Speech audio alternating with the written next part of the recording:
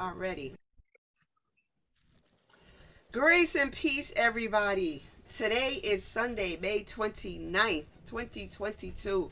Welcome to the Christ Fellowship Baptist Church Sunday School meeting, where our pastor is the Reverend Dr. David L. Kelley II. My name is Delores Gerald, and I will be your facilitator for this meeting. We meet every Sunday morning at 9:30 a.m.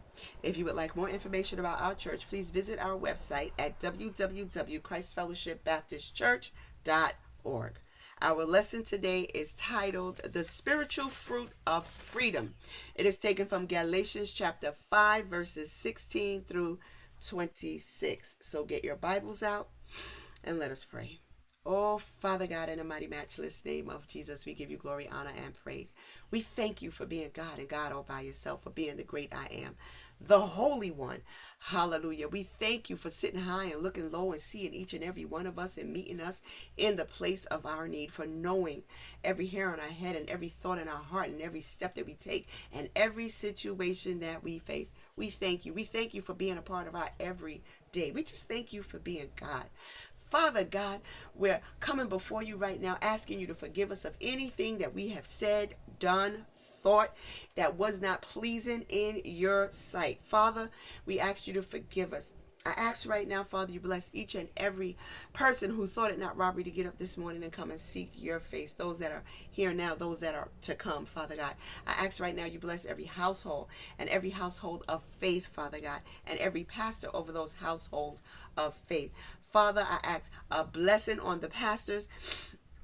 Gird them up on every week and lean inside, Father God. Put a hedge of protection around them and their families, Father God, as they go about doing the work that you've called them to do in the vineyard. A special blessing on my pastor, the Reverend Dr. David L. Kelley II. Father God, I ask right now that you prepare every heart, every mind, every ear, every eye to receive whatever it is, and every spirit to receive whatever it is that Holy Spirit has for us today. Hide me behind the cross that I might not be seen. Holy Spirit, you stand up, you do the teaching. I will sit down. I will be your I ask right now, Father God, that you you be in the midst of whatever it is. Give me clarity of speech. Give me clarity of eyes to see. Give me an ear to hear if you have something to say.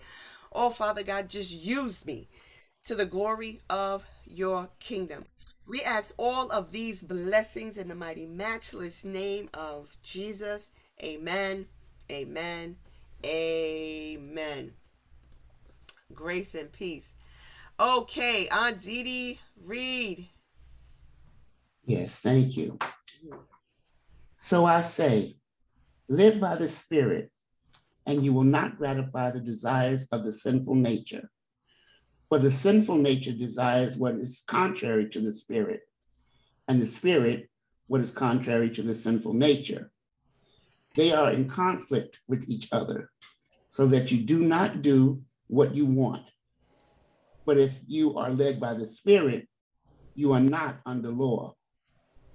The acts of the sinful nature are obvious sexual immorality, impurity and debauchery, idolatry and witchcraft, hatred, discord, jealousy, fits of rage, selfish ambition, dissensions, factions, and envy, drunkenness, orgies, and the like.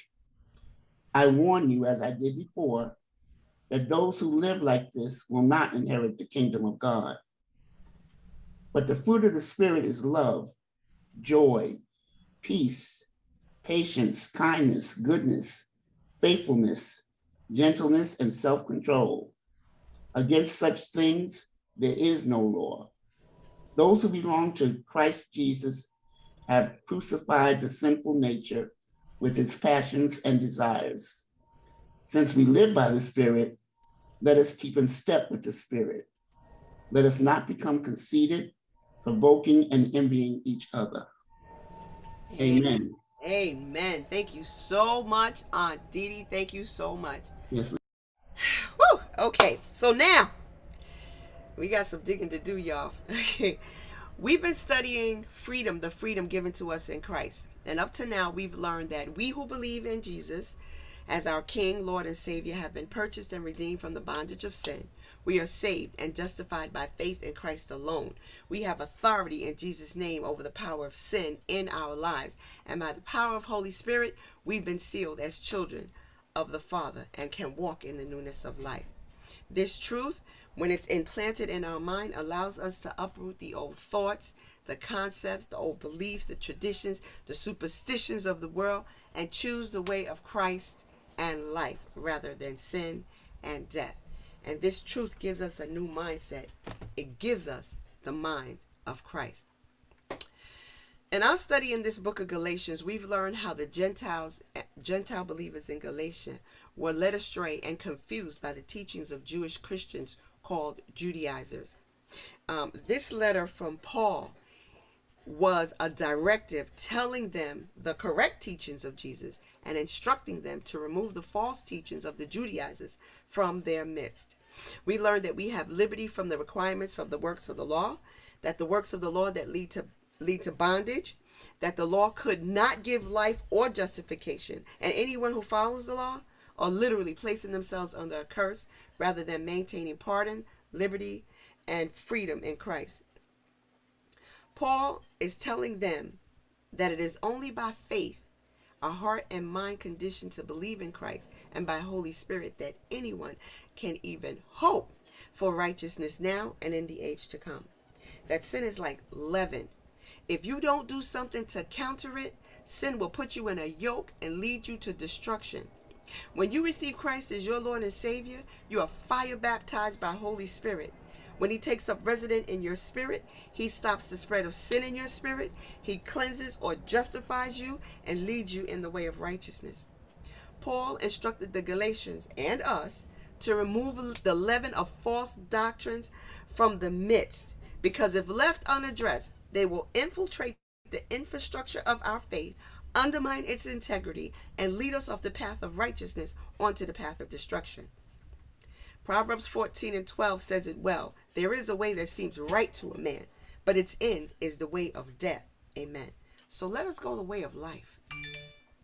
We finished our lesson last week with Paul's warning that the ongoing contentions in the factions inside of Galatia would result in harm on both sides, and no one would be victorious because they were not treating each other in love. And here starts today's lesson. Galatians chapter 5, verse 16. I say then, walk in the Spirit, and you shall not fulfill the lust of the flesh. Amen. Paul continues with his advice to the Galatians. He's telling them, walk in the Spirit, and you shall not fulfill the lust of the flesh. Um, he's encouraging the Galatians to allow Holy Spirit to have dominion in their lives. When Holy Spirit is allowed to have his way, then the mind of Christ is in you and will direct you in how to handle any situation that confronts you. We humans are creatures of the flesh. We have emotions, desires, and ambitions. As we walk in this life, any one of these combinations, any one of those things or combination of those things may be may affect us and the influences that affects us will determine how we live. How we respond to these influences can either be by our own mind, which is the sinful nature, or by the mind of Christ through Holy Spirit. Romans 6, verse 12 says, Therefore, do not let sin reign in your mortal body, that you should obey it in its lust. Amen. Everyone has something that can trigger a negative response in them. It could be something small or big, but to the individual affected, it is definitely significant. When you react according to the sinful nature, you allow sin to reign in you in that situation. And that is definitely not walking in the Spirit. Romans chapter 6, verses 13 and 14 says, Present yourselves to God as being alive from the dead, and your members as instrument of righteousness to God. For sin shall not have dominion over you, for you are not under law but under grace. Amen. When we submit to Holy Spirit and allow Him to direct us, we grow in the faith. Growth in the faith will help you walk in the Spirit. Growth in the faith will enable you to discern when Holy Spirit is speaking to you or if your selfish sinful nature is speaking. Growth in the faith of Jesus Christ will give you discernment, the ability to hear and understand by Holy Spirit before making decisions. Discernment by Holy Spirit will guide you in the way most pleasing to the Father so that you are able to walk in the Spirit. Romans 8, verse 5 says, For those who live according to the flesh set their minds on the things of the flesh, but those who live according to the Spirit, the things of the Spirit. So set your mind on the things of the Spirit and have the mind of Christ, and thereby walk in the Spirit. The more often you consciously follow the promptings of Holy Spirit, the more you will be able to walk in the Spirit and not in the flesh. Galatians chapter 5, verses 17 and 18. For the flesh lusts against the spirit, and the spirit against the flesh, and these are contrary to one another, so that you do the things that you wish. But if you were led by the spirit, you are not under the law. Amen. Paul then explains why we must walk in the spirit. Simply put, Holy Spirit and the sinful nature are contrary to one another and are therefore always at odds and in conflict with each other. The two natures that dwell in us, our holy nature through Holy Spirit and our sinful nature through the flesh, are at war for dominance in our lives.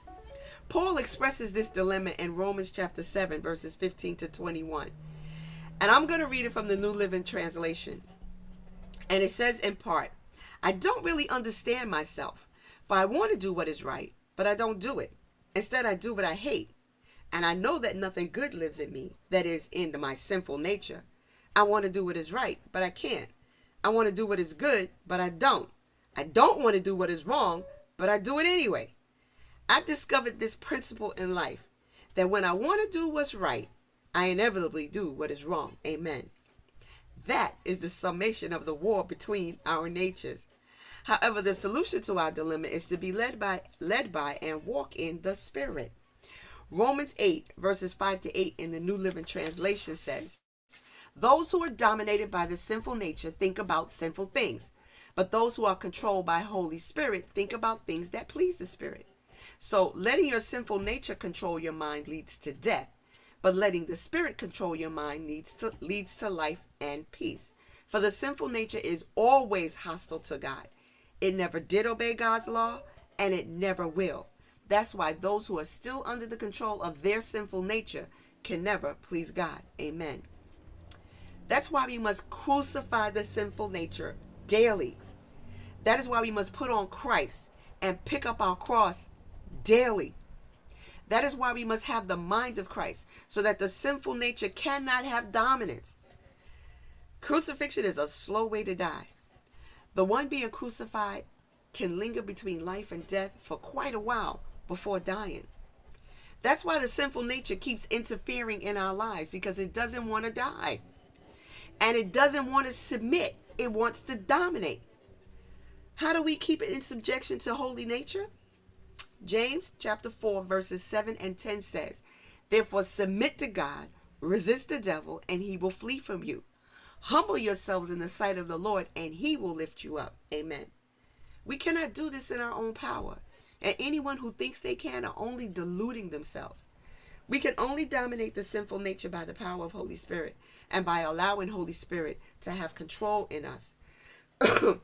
Paul refers to the law and the bondage under the law again when he says, If you are led by the Spirit, you are not under the law.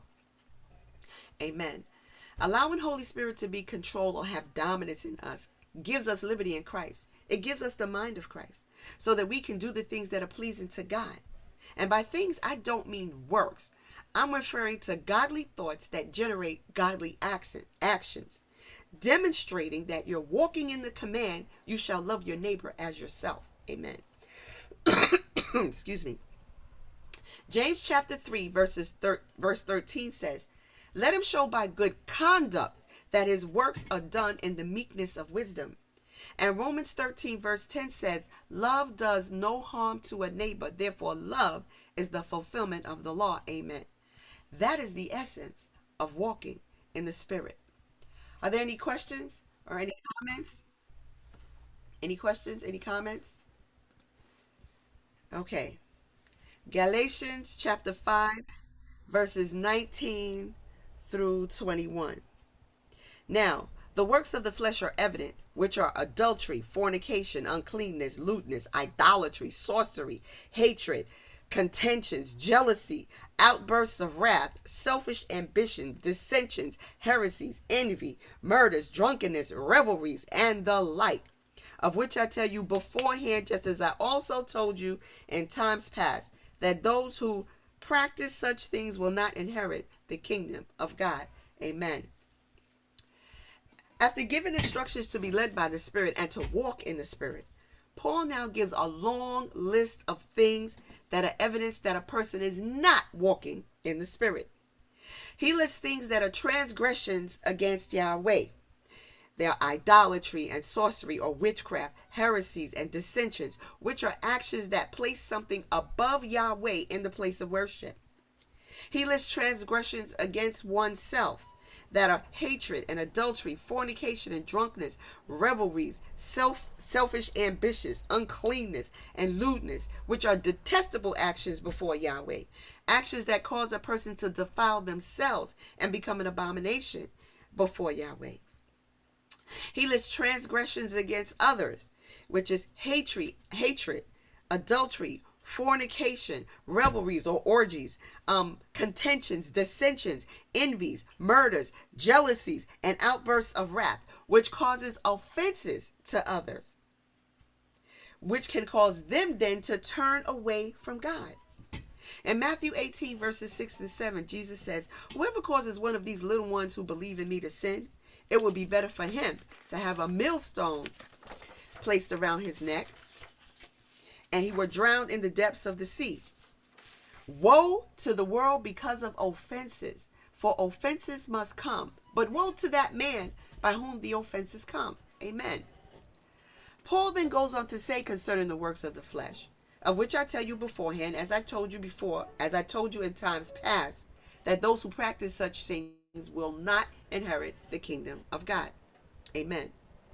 Note, it was a common practice for an epistle written to one church location in biblical times to be copied and shared with other ch- churches for their instruction and edification in the faith.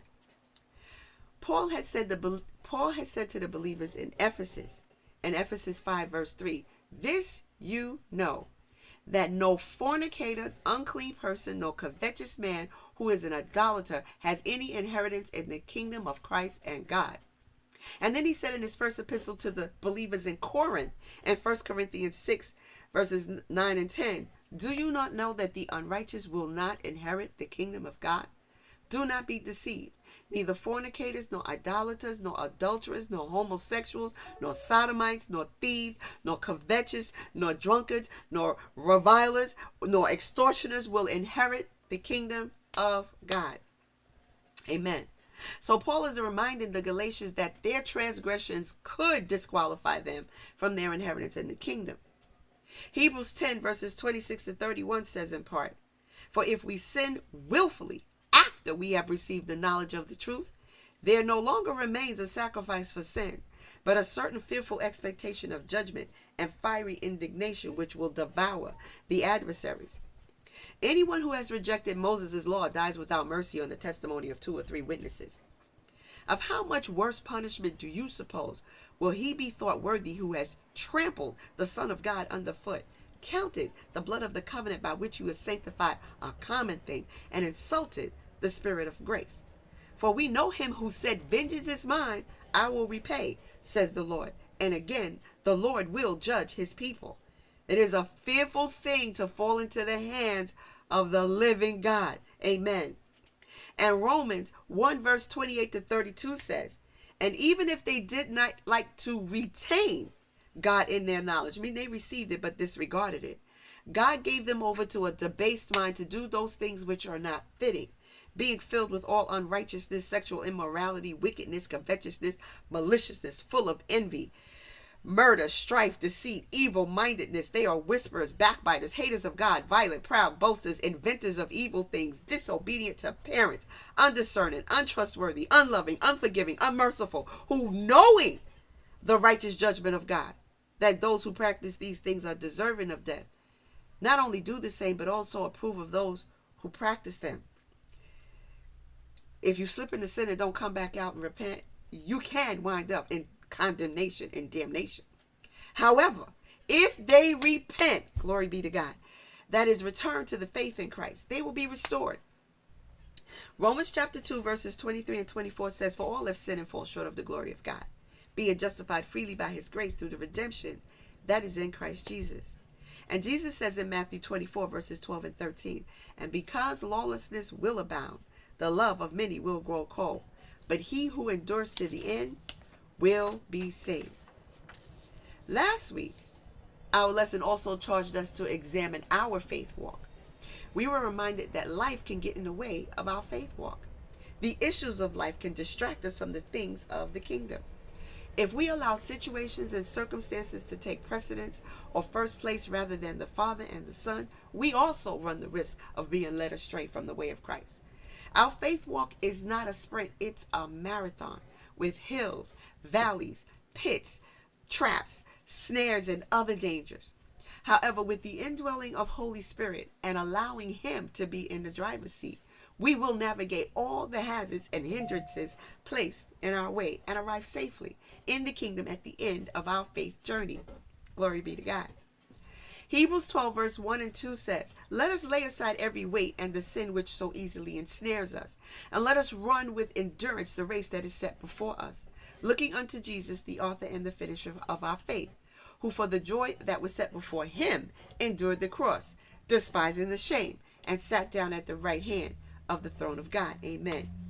1 Corinthians 9, verses 24 and 25 says, Do you not know that those who run in a race all run, but one receives the prize? Run in such a way that you may obtain it. And everyone who competes for the prize is temperate in all things. Now they do it to obtain a perishable crown, but we for an imperishable crown. And James chapter 1 verse 12 says, Blessed is the man who endures temptation, for when he has been approved, he will receive the crown of life, which the Lord has promised to those who love him. Amen. Any questions? Any comments? Okay. Galatians chapter 5, verses 22 and 23. But the fruit of the Spirit is love, joy, peace, long suffering, kindness, goodness, faithfulness, gentleness, self control. Against such there is no law. Amen. Paul brought to light the works of the flesh so that every believer who read his epistle could examine themselves. Now he lists the fruit of the Spirit those characteristics that would reveal the work of the Holy Spirit in us. This too can be a self examination. If we ask Holy Spirit to reveal us to ourselves, we, He will show us areas in our lives that, that we need to let go of and allow the Lord, Holy Spirit, to take over and submit to the will of the Father. The attributes of the Holy, of the fruit of the Spirit, the attributes of the fruit of the Spirit bear close examination. And so, here we go. Here are their definitions. Love. In the Greek, this word is agape, because there's many forms of love. But this word is agape, which is brotherly love or affection, goodwill, or benevolence. All right? This is the love of men towards God, the love of God towards man, the love of God towards Christ, the love of Christ towards men, the unconditional love of the Father. John 3:16 says, "For God so loved the world that he gave his only begotten son, that whosoever believes in him should not perish but have everlasting life." Jesus says in John 13 verses 34 and 35, "A new commandment I give to you, that you love one another as I have loved you, that you also love one another. By this all will know that you are my disciples, if you have love for one another." Amen. 1 Corinthians 13, 4 through 8 said, Love suffers long and is kind. Love does not envy. Love does not parade itself. It is not puffed up. It does not behave rudely. It does not seek its own. It is not provoked. It thinks no evil. It does not rejoice in iniquity, but rejoices in the truth. It bears all things, believes all things, hopes all things, endures all things. Love never fails. Amen. The second characteristic of the fruit of the Spirit is joy which means cheerfulness, as in a calm delight or gladness, a, a feeling of great pleasure and happiness, or to rejoice, to feel or show great or exuberant joy or delight. Jesus says in John 15, verses 11 and 12, These things I have spoken to you, that my joy may remain in you, and that your joy may be full. This is my commandment, that you love one another as I have loved you.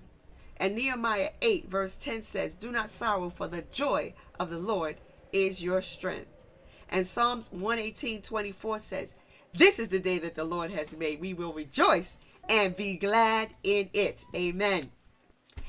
The third characteristic of the fruit of the Spirit is peace. It is a state of tranquility, harmony, harmony, security, safety, prosperity, and contentedness.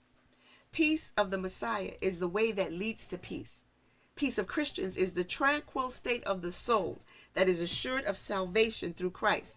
And so, not fearing wrath from God, they are content with their earthly lot. Jesus says, in John 14, verse 27, Peace I leave with you, my peace I give to you. Not as the world gives, do I give to you. Let not your heart be troubled, neither let it be afraid.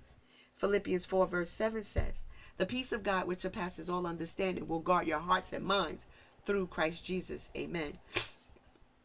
The fourth characteristic of the fruit of the Spirit is long suffering, which is patience, endurance, or constancy, which is faithful, patient endurance. It's steadfastness, which is firm, unwavering resolution. It is perseverance, which is persistence to continue. It is forbearance, which is tolerant self control and slowness in avenging wrongs. Mark 13, verse 13 says, And you will be hated by all for my name's sake, but he who endures to the end will be saved. That is perseverance. That's long suffering. The fifth characteristic of the fruit of the Spirit is kindness or gentleness, depending on your translation uh, of, of the Bible. It is moral goodness and integrity. And integrity is the quality of being honest and having strong moral principles and moral uprightness. It is benignity, kindness or tolerance towards others. It is kindness, the quality of being friendly, generous, and considerate. It is gentleness, the quality of being kind, tender, or mild mannered. It is merciful, which is compassionate, tenderhearted, kind, patient, tolerant, indulgent, generous, and benevolent. Matthew 5, verse 7 is Blessed are the merciful, for they shall obtain mercy. And James 3, verse 17 says, But the wisdom that is from above is first pure, then peaceable, gentle, willing to yield, full of mercy and good fruits, without partiality and without hypocrisy. Amen. The sixth characteristic of the fruit of the Spirit is goodness. It's the quality of being morally good or virtuous. It's uprightness of heart and life. It's kindness. Matthew 5, verse 8 says, Blessed are the pure in heart, for they shall see God. Amen. The seventh characteristic of the fruit of the Spirit is faith or faithfulness, depending on your translation. Faith is trust, holy fervor, conviction, confidence, or belief concerning one's relationship to God or Christ and divine things. It's it's conviction of the truth of anything. It is belief. Excuse me. It's the conviction that God exists and that he's the creator and ruler of all things and the provider and bestower of eternal salvation through Christ. It's a strong conviction or belief that Jesus is the Messiah, through whom we obtain eternal salvation in the kingdom of God. Faithfulness, faithfulness is loyalty, constancy, devotion, true-heartedness, dedication, dedication, commitment, allegiance, adherence, dependability, reliability, trustworthiness, staunchness, and steadfastness, some of which we covered under long suffering. In 1 Corinthians 15, verse 58, it says, Therefore, my brethren, be steadfast, immovable, always abounding in the work of the Lord, knowing that your labor is not in vain in the Lord. And Hebrews 3, verse 14 says, For we have become partakers of Christ if we hold the beginning of our confidence steadfast to the end. Matthew 25, verse 21 says, His Lord said to him, Well done, good and faithful servant. You were faithful over a few things. I will make you ruler over many things. Enter into the joy of your Lord. Amen. The eighth characteristic of the fruit of the Spirit is meekness or gentleness. Meekness is peacefulness, modesty, humility, unpretentiousness, lowliness, submissiveness, compliance, obedience, deference, patience, long suffering, forbearance, and compassion. Matthew 5, verse 5 says, Blessed are the meek, for they shall inherit the earth. Matthew 18, verse 4 says, Therefore, whoever humbles themselves, as this little child is the greatest in the kingdom of heaven. Amen.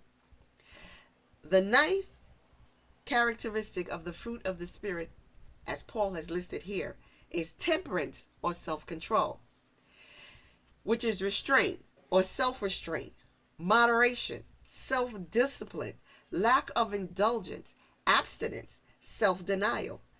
It is the virtue of one who masters his desires and passions.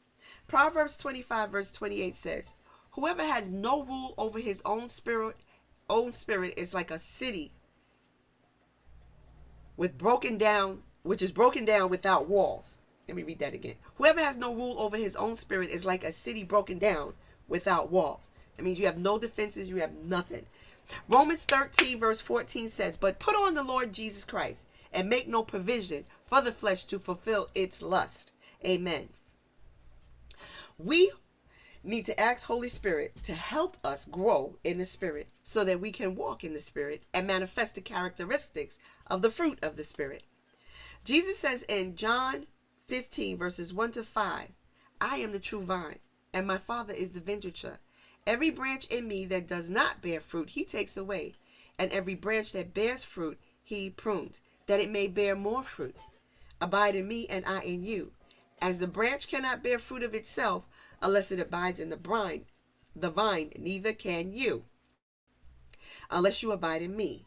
I am the vine, you are the branches. He who abides in me and I in him bears much fruit, for without me you can do nothing. Amen. Peter speaks of being fruitful in the faith this way in 2 Peter 1, verses 5 to 9. But also for this very reason, given all diligence, add to your faith virtue, to virtue knowledge, to knowledge self control, to self control perseverance, to perseverance godliness, to godliness brotherly kindness, and to brotherly kindness love. For if these things are yours and abound, you will neither be barren nor unfruitful in the knowledge of our Lord Jesus Christ. For he who lacks these things is short sighted, even to blindness, and has forgotten that he has he was cleansed from his old sins. Amen. Ephesians 5 verses 8 and 9 says, Walk as children of the light, for the fruit of the Spirit is in all goodness, righteousness, and truth. Amen. Paul declares that the attributes of the fruit of the Spirit that manifest in the believer will reveal that they are under control of Holy Spirit. Those who abide in Christ and allow Holy Spirit to be in control will manifest the characteristics of the fruit of the Spirit. Then, submission to Holy Spirit and the acts, deeds, and behaviors that result from that submission will not bring them into the violation of the law. Any questions? That deserves that deserves a hallelujah and an amen. Oh my those two verses. Oh, girl. you told it. You told it. Amen. Amen. Glory be to God. Okay. Galatians chapter 5 verses 24 through 26. And those who are Christ have crucified the flesh with its passions and desires. If we live in the flesh, let us also walk. No, I said that wrong. If we live in the spirit, let us also walk in the spirit. Let us not be come to conceited, provoking one another, envying one another. Amen. Paul, after he lists the characteristics of the fruit of the Spirit, reiterates those who are Christ have crucified the flesh with its passions and desires. Remember, crucifixion is a long, slow death. It is certain death, but it takes a while for the one crucified to die. Romans 6, verse 6 and 7 says, Knowing this, that our old man was crucified with him, that the body of sin might be done away with, that we should no longer be slaves to sin. For he who has died has been freed from sin. And Galatians 2, verse 20 says, I've been crucified with Christ. It is no longer I who live, but Christ lives in me. And the life which I now live in the flesh, I live by faith in the Son of God, who loved me and gave himself for me. Amen. We in the body of Christ have to take on the mindset that the sinful nature is dead to us. And when it starts thrashing around in the throes of its death, trying to get our attention, we need to turn our backs to it and turn toward Holy Spirit in our holy nature and submit to Him and allow Him to be in control so that He can subdue the rebellion of the sinful nature.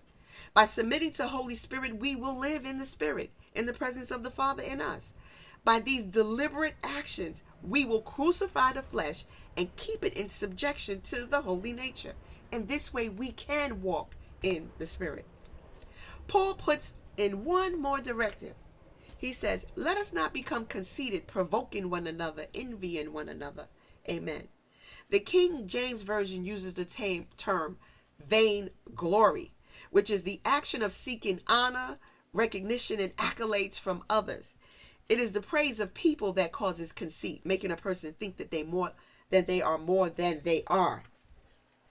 Romans chapter 12, verse 3 says, For I say to everyone who is among you, not to think of himself more highly than he ought to think, but to think soberly. Amen. Conceit in a person can make them look down on others. It can cause them to treat others as less than, which can cause offenses. On the other hand, if a person thinks they should be honored by others and they are not, it can broke it can provoke in them an offensive attitude and create strife and contentions. Think of Haman in the book of Esther. Then again, one person may be receiving accolades and another may believe that they are more deserving of those accolades, which causes jealousies and envies. Unfortunately, these things happen in the church today. There are some who think they deserve praise and do not get it, and so are offended, causing them to become jealous or envious.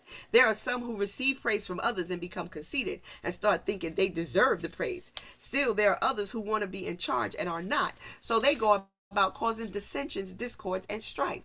None of these behaviors are Christ like and reveal that the sinful nature has not been put into subjection to the Holy Spirit. Paul is reminding the Galatians of the warning he gave them in Galatians 15 and Galatians 5, verses 14 and 15. You shall love your neighbor as yourself. But if you bite and devour one another, beware lest you be consumed by one another. Amen. Again, this is a call to do a self examination. We need to ask Holy Spirit to reveal ourselves to us. Most of us will not see our own faults and others may not tell you about them for various reasons. Colossians 3, verses 12 to 15 says, Therefore, as the elect of God, holy and beloved, put on tender mercies, kindness, humility, meekness, long suffering, bearing with one another, and forgiving one another. If anyone has a complaint against another, even as Christ forgave you, you also must do. But above all these things, put on love which is the bond of perfection. And let the peace of God rule in your hearts, to which also you were called in one body, and be thankful. Amen. If we do this, we will surely live and walk in the Spirit and manifest the characteristics of the fruit of the Spirit. That's my lesson, y'all. Any comments? Any questions? Any comments? Any questions? That that was just mm, Mm-hmm. You know, you, you you read it over and over, but it's just so beautiful to hear. You know, it's all about love. It's all about love. You know, love. Oh my God, it conquers so many things. It does. Yes, it does. Oh, hallelujah. And it covers a multitude of sins to boot. Amen. Yes. Yes. You can actually love your enemy. Yes. Yes. You can love your enemy. Yes. Yes, you can. Yes, you can. Oh, Jesus. Aunt Didi, you unmuted. What did you want to say? I just wanted to thank you for the research that you do. You you quoted where these verses are in the Bible that back up and confirm everything that you're saying. I, I learned so much and I'm very grateful. When you said that we have to crucify the sinful nature, and crucifixion is a long um, process Process, yeah. that that made so many things clearer for me. Um, your sinful nature is not just going to die; no. it's going to, as you said, die and then thrash around in its death throes and come back to try to mess with you anyway. Mhm. And what you have to do when that happens is remember what is happening and turn more to God who can take care of that. Yes. You don't have to deal with that. You don't have to because it can it can kind of pull you in a direction where you don't want to go. What you want to do is turn completely away from that Right. and and turn more to God Mhm. whose strength can handle that. Yep. You don't need to deal with that. Now that made so many things clear. Why do things pop up that I, I know in my head I shouldn't be dealing with that. I shouldn't be thinking like that. What is that? And it can be very frustrating and it can and it can kind of throw you off. Yep, But. I don't have to deal with that. Nope. Turn to God and he'll deal with that. That's right. I also like, I love when you say something and then you refer to the verse in the Bible that says, This is what I'm saying, and this is why I'm saying it. And you can read it for yourself if you want to. Amen. I love that. Amen. Thank you very much. Thank you. A wonderful, wonderful lesson. Thank you. Thank you. Thank Amen. you. And I- Can I, can I respond to Aunt Dee Dee's um comment? go right ahead. You know, there's a scripture in the Bible that says, let patience have its perfect work. And sometimes as believers, we have patience with everybody else. But when it comes to us, we don't have patience with our own self. And I think that for me, this was a reflective lesson that, you know, the enemy's not going to stop trying you just because you are saved. I mean, the enemy tried Jesus and said, if you're the son of God, do this, this, and that. And he was the son of God that could have destroyed him in a in a quickness, in a moment. Right. So we have to remember that the enemy is always going to come at us, life left, right, and sideways. So what we have to do is, as the Bible says, we- what I took from the lesson today is guard your heart, Amen. Because the Bible says out of it flows the issues of life. Yes. So continually guard your heart and give yourself a minute when a situation happens to always give that other person the benefit of the doubt because there might be a reason why they're acting in such a um, reactionary way and you have to respond like the bible says with patience with kindness and it's hard to remember those things when you're in in, in an emotional state Yep. But the but the lesson is, is pointing us towards we want to guard our heart because out of it flows the issues of life so i just really appreciated her comment and it, it was lining up with what i felt going through the lesson beautiful lesson Delores it always is Amen. Amen. Amen. Thank you. So now I need some. You got something to say, Elder Lawanda? Uh, good morning, Minister Delores, and all the queens and kings. You just muted yourself. Elder Lawanda, you muted yourself. Sorry. Okay, good morning, everyone. But I want to thank you for the lesson, Minister Delores, and like uh, Dr. Denise was saying, learning to be patient with ourselves, Ourselves. and not only that, learning to uh, forgive ourselves. Because Christ said he has already forgiven us. The Lord said he has forgiven us. So why do we not, you know, forgive ourselves? So learning how to forgive ourselves and being patient with ourselves and being patient with others. And like you say, another examination of the heart. Yep. Are we exemplifying the fruits of the spirit? Um, I mean, it was just a, a, a beautiful lesson. And I like how you said about uh, you know, we're gonna go through those hills and those valleys, and we're gonna be in the wilderness. But thank God that He's Lord of the valley, the wilderness. Yep. Wherever we at, the presence of the Lord will be there. But He said one of the identifying marks of of us as disciples of His is love. So we have to walk in love, and we have to forgive. You know, others as well as forgive ourselves and be patient with those, even that we're praying for or witnessing to. So, thank you so much. I love you. Amen. Why don't you pray us out while you're there? Father God, in the name of the Lord Jesus, we come before you with humble hearts, oh Lord God, giving you the praise, the glory, and the honor, thanking you for this lesson on this morning, oh Lord God, that will help us to examine examine our hearts, our motives, oh Lord God, that Lord God, what we do will be pleasing in your sight. We thank you, our Father. We thank you, Lord Jesus. We thank you, Holy Spirit. We thank you for Minister Delores. Continue to bless her, keep her, and enlarge her territory, Lord God. Thank you for her steady time, Lord God God, how she goes digging, Lord God, so that she can bring your word, Lord God, with proof and backup, Lord God. So bless each one on this line today, Lord God. May they go in the peace of the Lord. May the blessings of the Lord overshadow them, overtake them, oh Lord God. May they have a wonderful, safe weekend, Lord God, this holiday weekend, Lord God. And let us remember our veterans and those that have served our country, oh Lord God. Let us honor them, Lord God, by praying continually for them, oh Lord God. So we praise you and we love you, Father. In Jesus' name, amen. Amen.